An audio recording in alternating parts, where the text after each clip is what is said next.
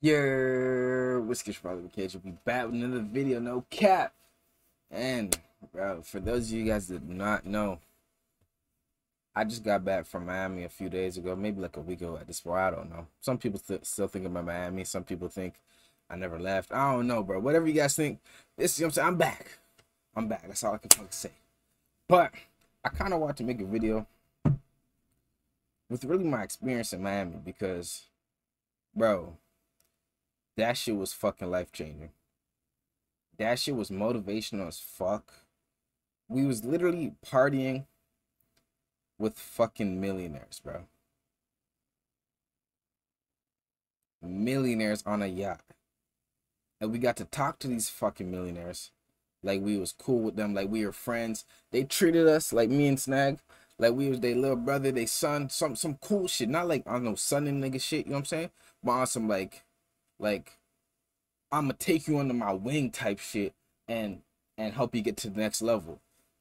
These bro, these millionaires are actual fucking people. And I know it's fucking common sense that they are, right? But you you, you won't really understand that they're just like you and I until you're in the same room, to listen to the same music on the same yacht, talking to the same bitches as these niggas, bro. That shit is fucking life changing, bro. We talked to niggas like Luke Belmar, Nate Belmar. Uh, DDG was there too. We didn't really get to talk, talk to DDG, but uh, Baby Rich was there. Jay Waller, Sneako, Myron from Fresh and Fit, Fresh, Bandman Kevo, all these millionaires were there. And each and every single one of them treated us like we were humans. Now I know a lot of people, this is gonna go over a lot of people's heads because they don't really understand that like, bro, these niggas have hundreds of millions of dollars and they have zero ego at all. They are just like us. And we asked them we asked some of them questions, we talked to them, we had conversations with them. And it was on some genuine real love type shit, bro. These niggas is really like it's been a few days since we got back and it's still fucking crazy to just to just to think about the fact that I was talking to these niggas and they have money that most families, entire bloodlines would never even see. That shit is fucking wild, bro. That's just a different type of motivation. You guys know I don't rely on motivation now. I rely on straight discipline. But like it got me really knowing that like I got to be on my shit, bro. Cuz it is possible to make it to the next level.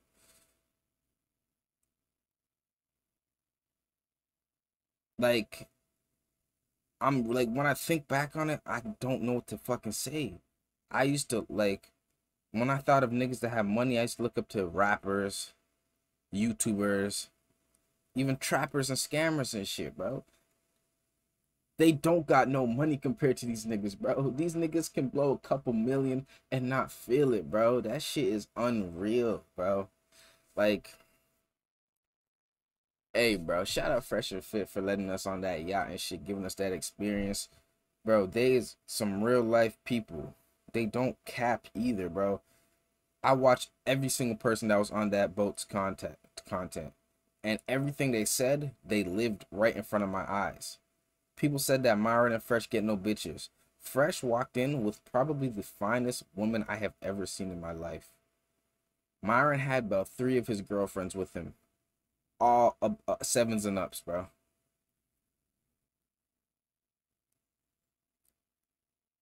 Jay Waller, bro.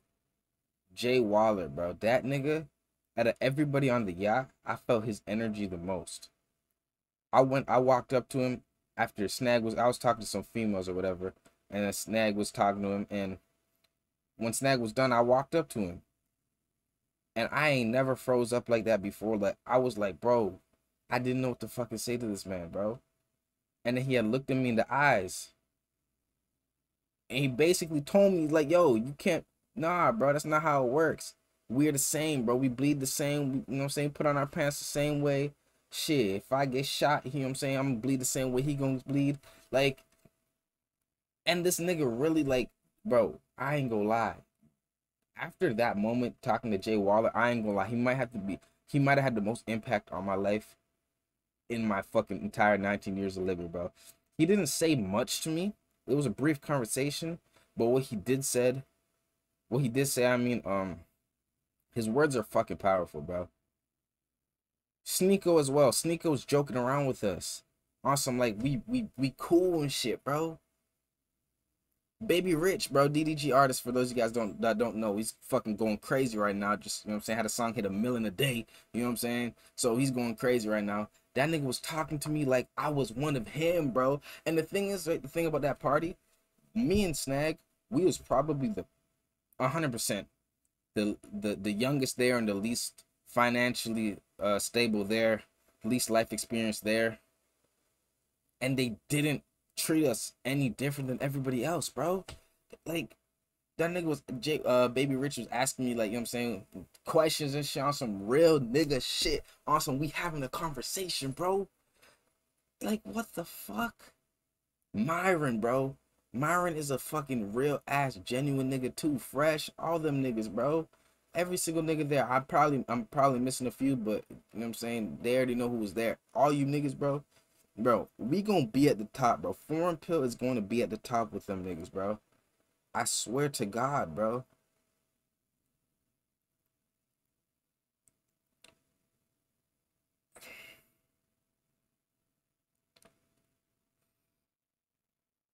Bro, you niggas, you niggas need to get out and experience life, make connections. Even Chris, bro, from uh the producer for for, for Fresh and Fit, genuine ass nigga. All these niggas, some genuine ass people, bro we met some other people there, some six figure earners, some some some niggas making some actual bread, bro. We was all treated as equal. And let me put put you guys on some game and shit. I've been saying this on my uh on my uh stream a little bit, but like the females in Miami, right? They had more of an ego than these niggas that have a hundred million in the fucking bank.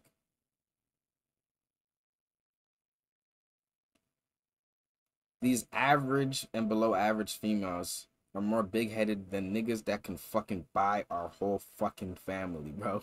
like, bro, it's so crazy. Like, every, like, bro, Miami was the fucking vibe. It was sunny too. Palm trees. You guys know how I feel about palm trees. That shit is like my motivator, bro. Like, bro, I just felt so successful out there. And being only 19 to snag 18, being able to travel there on our own, it's just honestly a blessing, bro. I know niggas that haven't even left it. Ontario, bro. Some niggas ain't even left their own fucking block damn near, bro. Like, this is crazy how we did that shit. And we gonna continue to do that shit. We did spend a lot of money out there, but the money, fuck the money, bro. The experience was an experience of a lifetime. We built some connections, met some people. And I, I, I hope and I'll work to be able to work with them in the future. I'm gonna work my ass off so I can maybe become business partners with some of them in the future. Be cool with them on some real shit, like you know what I'm saying, have their number and shit in the future. Obviously they can't be giving up their number to just anyone and shit. You gotta have value. We we don't have much value right now. We're still building up our value, we're still young. These are like 30, 40 year old men, by the way. And it's crazy because all the broke niggas that I've talked to told me I shouldn't have gone there told me that they like I'm seeing what Snag be saying when people say that rich people are bad people. Like I had I had broke family members telling me that they're gonna be doing cocaine and fucking shit on the yacht. I'm like, bro, why do you think that? They say because that's what millionaires do. No, the fuck they don't, bro. Not those millionaires, at least. Those are the millionaires I want to be like. Those are the fucking niggas that wake up every day, work their fucking ass off, work out, fucking and make money. That's all the fuck life is about, bro. And have a family. What else is there to do with life, bro? Wake up, be healthy, be financially free, and have a fucking beautiful family. That shit is fucking crazy that people really paint a negative picture on these these successful people just because for the simple fact that they will never be there. They have no reason. They don't know any millionaires, bro. Why are they sitting here telling me that millionaires are bad? That millionaires are sitting there doing cocaine on yachts in Miami and shit. Like that's fucking stupid, bro. Like that shit's crazy, bro. Nobody was. Some of them were barely drinking, bro. Hey, shout out Luke, fucking Belmar, and Nate, cause they are not cap. When they say they do not focus on women at all, bro, Nate was sitting there posted at the fucking entrance at the party and shit, you know what I'm saying, on the yacht. Just chilling, not talking to no bitches. And no homo. He's a he's an attractive looking man, you know what I'm saying? Like not I don't find him attractive, but like like you females will not call him ugly and you know what I'm saying? Females are trying to go up to him and he was just like waving him off and shit. Like, nah, he's on his fucking grind. Same with fucking Luke. Them two niggas, I gained a different type of respect from when I seen that, bro. Like they say that they're not focused on women, they're just focused on making money and living, you know what I'm saying, healthy and getting to the next level. And that's what the fuck they're doing, bro. As soon as the boat was about to take off, what did they do? They fucking, you know what I'm saying? They be like, I bet we gotta we gotta leave. You know what I'm saying? And what did they do? Probably went to some business shit. I think they ended up in uh I forget where I saw in the story, bro. I think it was Denver, Colorado type shit, you know what I'm saying? Them niggas is really about their fucking bag. And yeah, you can fucking watch them on YouTube every single day, but when you're around them, that shit is fucking different, bro. Their energy, you can feel the fucking wealth in the fucking air. I swear to God, bro. And like, it's crazy because a lot of niggas treated me different, bro. Before I like from before I went to that party and met those people, and when I came back, I got treated a lot different, bro. People, females especially, bro. I post a picture on yacht all of a sudden I'm him. Bitches that never fucking. And I'm not an ugly nigga, by the way. Like, on some real nigga shit, we know I'm not an ugly nigga, right? I'm not hideous. I'm not ugly. I'm, I say give myself a six, bro. I've been saying that. I'm a six out of ten, bro. You know what I'm saying? So I'm an average looking male, maybe a bit above average. Bitches would not look my fucking way. I post a picture on the yacht. I have niggas bitches liking my pictures, niggas bitches in my fucking DMs and shit. That wouldn't give me a chance literally a few weeks ago. People really treat you different when they think that you you're something, bro. It's fucking crazy, bro. This is a, an amazing fucking experience because I'm seeing how one women women treat you different, men treat you different. You get more respect too from men when they see you around high value men. Obviously women too, you know what I'm saying? But just being around those fucking millionaires, bro. I got to fucking make it. I got to fucking make it. Subscribe to the fucking podcast channel. Foreign Pills going crazy this year. We about to spin back to Miami soon. We didn't get as much um connections as, I wanted, but I feel like as we left, like once I got back, I had um uh like a DJ, you know what I'm saying? One of the DJs that was there, you know what I'm saying? He cool as fuck. That nigga, you know what I'm saying? We got connected with him. I had a few YouTubers and shit holla at me talking about they gonna fly out, you know what I'm saying? Or they already out there where I'm at and shit. But that was all when I came back. So I guess it's just kind of bad timing. But we would have come back in a few months. So anybody that wants to link any don't not no bums. I'm not linking no bums, bro. Any uh high value um any anybody on their way to success or already successful, honestly, hit my DM and shit. And uh we gonna work next time we out there because we did have a little uh, inconvenience as well too, so we didn't really get to get as much things as we want to get done. But hey, that's how life goes. Sometimes shit don't go your way. What are you gonna do? Cry about it? Or you gonna fucking learn from it and move on? You know what I'm saying, bro? I, I could keep going on for at least another fucking 15 fucking 20 minutes on how fucking how like how crazy it is that I was in that situation with them uh successful fucking crazy successful people, bro partying with them niggas. The niggas like DDG, bro. You guys don't understand. I've been watching DDG since middle school, supported him throughout his music career, all this shit. And I didn't get to talk to him or anything, but there was a point where he was here and I was fucking right here, bro. Like, what the fuck, bro?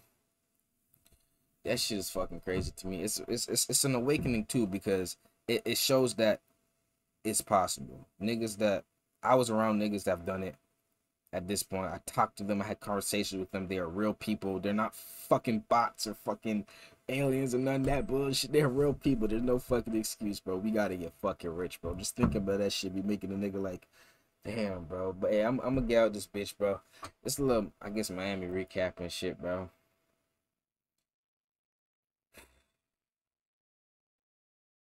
I'm gonna come back to this video five years from now. And I'm gonna accomplish everything I fucking ever wanted to, bro. Plus more. I'm gonna be around these people. They're gonna be my friends. We're gonna be in communication. Be able to call them anytime. We don't sp- manifestation, but hey, look, manifestation is real, but you gotta manifest and work to it. You don't just manifest, bro. Don't be delusional. You don't sit there and say I want this shit. You say you want this shit, speak it into existence, put into uh, the universe, and then work your fucking ass off to get it. I gotta go work out though. Now I'm going to this bitch, no kizzy, bro.